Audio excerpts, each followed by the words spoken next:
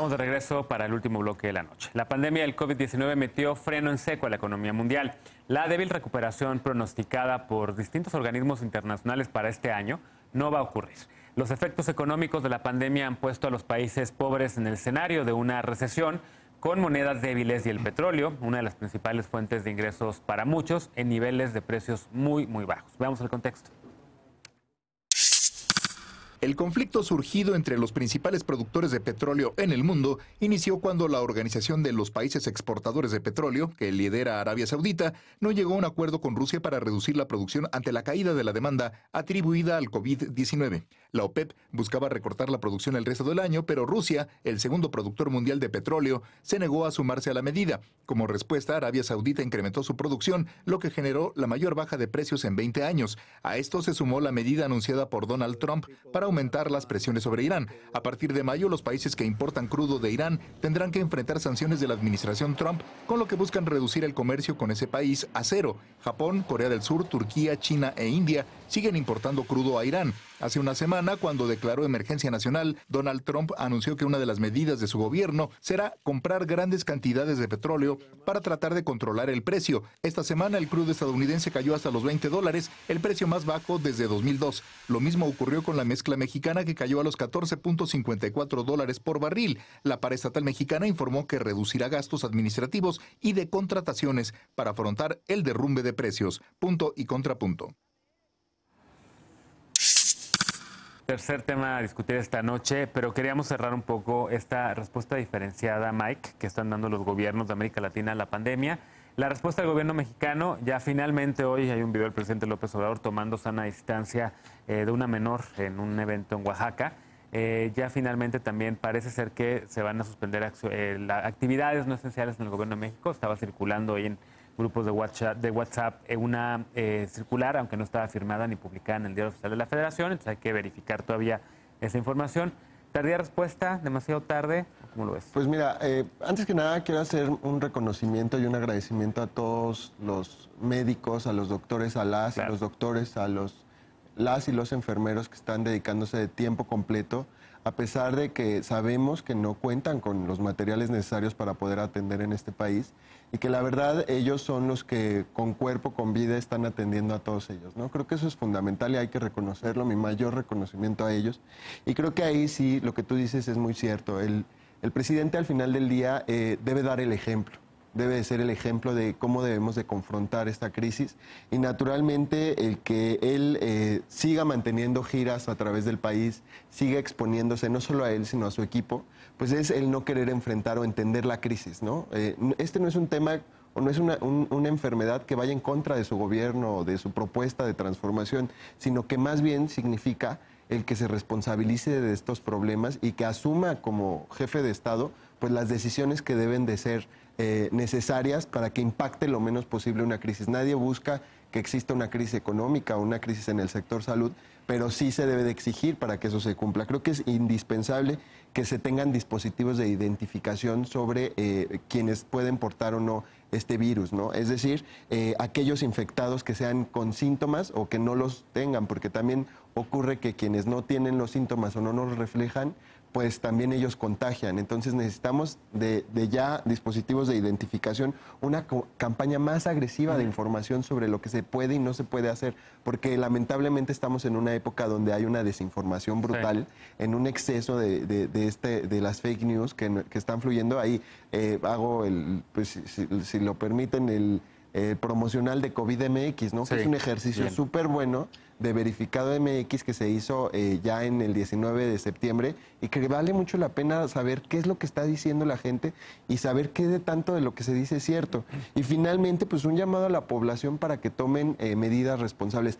Nadie responsabiliza, responsabiliza únicamente al gobernante en turno, pero no podemos extender o patear la, la pelotita y esperar a que después del niño ahogado se pueda tapar el plazo. A ver, eh, Jorge, si quisieras hacer un comentario también sobre México, si quieres pasamos ya al tema también de esta guerra comercial que afecta a México y también ahí te podría preguntar y poder responder si estamos tomando las medidas necesarias para enfrentar estos bajos precios del petróleo.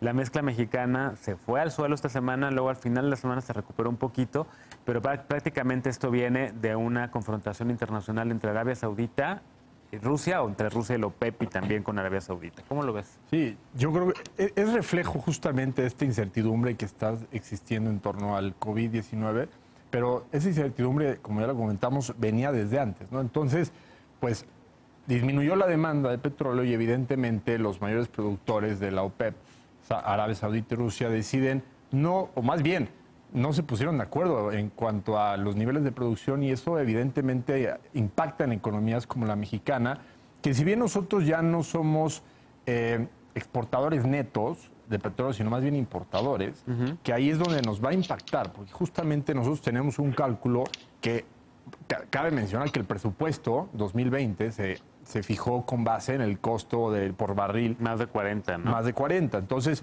aunque hay precios de garantía, me parece que es el 50% que está garantizado, no está muy claro justamente qué reajuste se va a tener que hacer. Entonces, evidentemente, debe haber un, reajuste, ya sea al gasto del gobierno o al presupuesto, ¿no? En ese sentido, yo sí esperaría ver en los próximos días un anuncio mucho más claro en ese sentido, para generar también certidumbre, sobre todo en el ámbito eh, empresarial. Las pequeñas y medianas empresas, ya esto hay que decirlo, ¿no? Están siendo las más afectadas en estos procesos. Por un lado, porque no tienen la capacidad y la infraestructura para utilizar medios digitales como el teletrabajo para justamente facilitarle a sus trabajadores que trabajen a distancia. Por lo tanto, se ven en la necesidad de que sus empleados, en la mayoría de los casos, vayan a trabajar in situ, lo que puede generar pues eh, peligro de que se infecten por, por un lado, ¿no? Y por el otro lado también pues están perdiendo ese estímulo, esa productividad que es muy baja. No hay que olvidar que las pymes son el 72% de la fuerza laboral. De ahí el riesgo de perder empleos. Y a eso déjame subarle nada más una cosa, el tema de las remesas.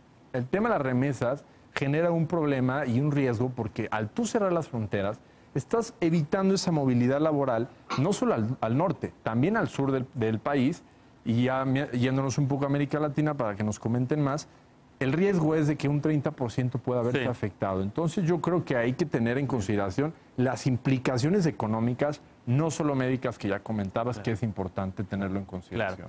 Y ya hablabas tú en el bloque anterior sobre esta guerra de precios eh, de petróleo de oferta y de demanda entre Arabia Saudita y Rusia y que en efecto ya está empezando a afectar a México. ¿Cómo ve las medidas anunciadas en este país para enfrentar esos bajos precios del petróleo? Hay quien dice que ya es momento de empezar a endeudar al gobierno de que empiece a pedir préstamos internacionales, que ha sido también un motor de desarrollo en, otros, en otras décadas, el endeudamiento. Hay endeudamiento sano, hay endeudamiento que puede ser también eh, pues bastante nocivo.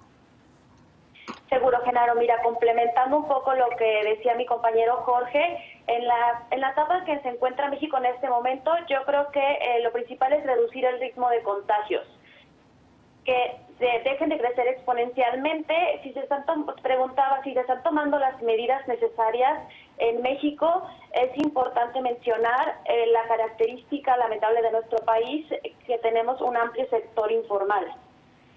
Entonces, una medida fundamental sería la ayuda a los trabajadores del sector informal. Es una gran inversión en salud pública, pero realmente necesaria. Tienen que ser medidas contundentes, inversión de dinero, para que nos pueda dar un Estado fuerte, con apoyo social que nos propicie un estado de bienestar. Esto cómo puede ser logrado a través de las bajas tasas de interés. Y justo las medidas eh, después del petróleo que tomó un poco lo que es el Banco de México fue las subastas de dólares. Esto nos apoya a diversificar la economía y nos da los precios de garantía. Es importante, sobre todo, eh, mencionó Jorge también lo que es el trabajo en casa, realmente sí eh, enfrentamos esta dificultad de que México es un país que no está preparado para que ni siquiera los trabajadores de servicios no esenciales puedan hacerlo desde casa, pero sin embargo reducir el ritmo de contagios tiene que ser una medida eh, de toma de ayer.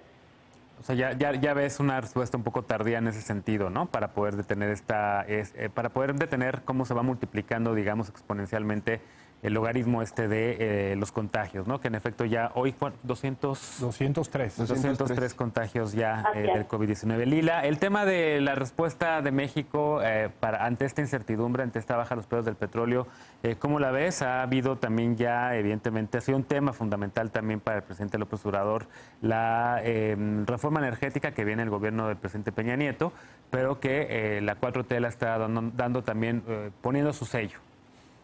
Sí, a ver, o sea, yo no creo que el presidente Andrés Manuel López Obrador ha entendido desde el inicio de su mandato la importancia que es el sector petrolero, lo vemos con el hecho de que quiso una refinería en, dos bocas, o sea, todas sus medidas han sido un poco regresivas en cuanto a lo que debe de ser hoy el sector energético. Pero más allá de esto, esto es una guerra perversa entre Rusia y Arabia Saudita de inundar el, el, mercado con más petróleo, donde ahorita no hay demanda para ver quién gana más mercado y puede reducir más los precios. Obviamente que Arabia Saudita le está pegando en Europa, que es uno de los mercados críticos de Rusia, pero más allá de eso, yo creo que la respuesta de México tiene que ser más enfocada en tomar medidas extremas en contra del COVID-19, Genaro. Esto no nada más basta con aislamiento social, con sana distancia. Esto indica y requiere de, de cosas y de estrategias extremas, es decir, hacer cierres de fronteras,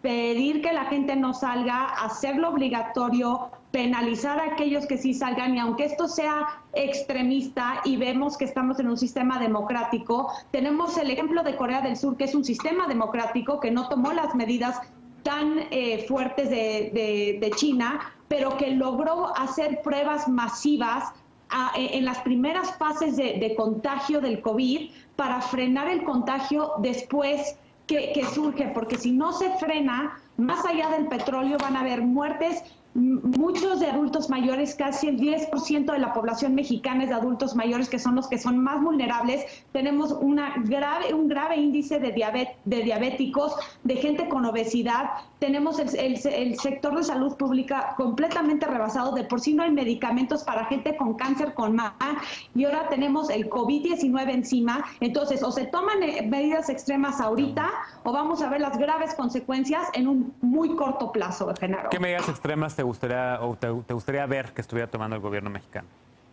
Mira, a mí me encantaría ver lo que hizo Corea del Sur. Hizo, uno, pruebas extremas para todos. O sea, por, por un millón de habitantes estaba haciendo 5.200 pruebas. ahorita en, en, Estados Unidos llevan 74 pruebas por, por, un millón de habitantes. O sea, se necesita hacer pruebas masivas para, para contener, aislar y, poner en cuarentena a aquellos que ya están contagiados, pero también hacer un rastreo de con quién pudieron haber tenido contacto. Con eso sigues implementando leyes para poder utilizar datos de teléfonos, de tarjetas de crédito, usando redes sociales para poder hacer una red de, de quienes hayan tenido contacto con gente que, que ha estado contagiada para entonces hacer una cuarentena general, pero se tienen que hacer medidas fuertes como las que se están tomando en Nueva York, que ya son medidas estatales de hacer lockdowns, que estos son los cierres totales, que son medidas muy fuertes y muy costosas políticamente a corto plazo pero que tienen que reducir el número de casos para no sobresaturar el sistema de salud pública en México, que creo que va a ser catastrófico. Digo, también tenemos y podemos hacer un programa especial para ver las respuestas también en los estados de la Unión Americana, que ha sido también diferenciada. California ya ordenó también un encierro eh, de su población, más de 40 millones de habitantes, la quinta economía del mundo. El estado de Nueva York también ya va así, pero el de estado de Georgia todavía no, no. Bueno, déjame hacer una pausa, lamentablemente se nos acaba el tiempo. Tenemos que ir a una pausa para regresar ya para despedirnos con la paparrucha esta noche. No te vayas.